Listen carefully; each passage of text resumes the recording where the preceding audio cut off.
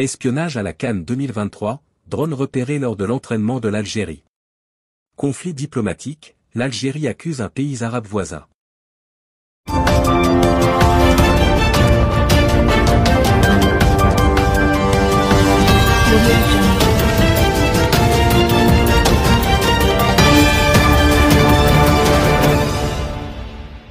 Un drone de surveillance repéré lors de la préparation de l'équipe d'Algérie pour la Cannes 2023.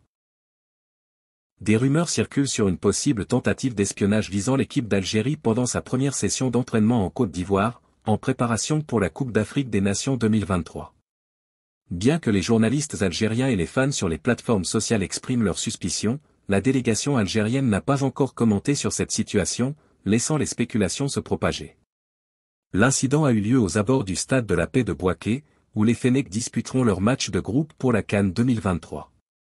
Après leur récente arrivée de Togo pour un camp d'entraînement, l'équipe menée par Riyad Mahrez a prévu une session d'entraînement qui a été abruptement stoppée sur ordre de Jamel Belmadi. Le responsable a pris cette décision après avoir repéré un drone de surveillance survolant le terrain, renforçant les soupçons d'espionnage.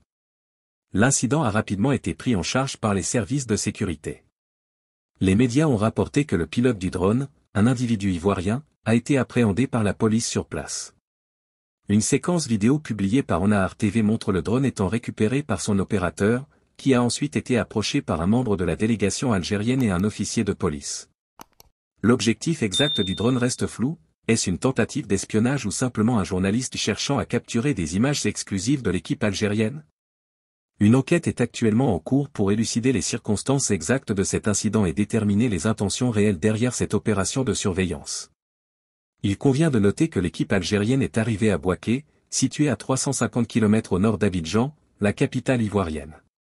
Les Fennecs sont prêts à affronter les équipes de l'Angola, du Burkina Faso et de la Mauritanie lors de leur premier match de la Cannes 2023.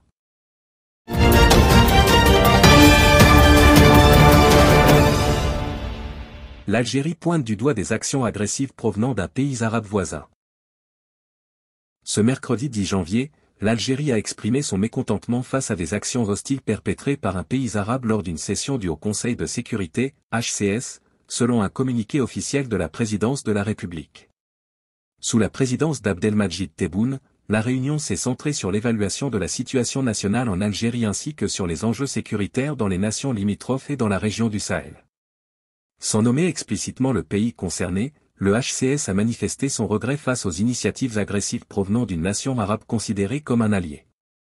La session a été marquée par la présence notable du général d'armée Saïd Changria, chef d'état-major de l'ANP, en plus des figures clés telles que le Premier ministre, les ministres de l'Intérieur et des Affaires étrangères, ainsi que les conseillers du président Tebboune.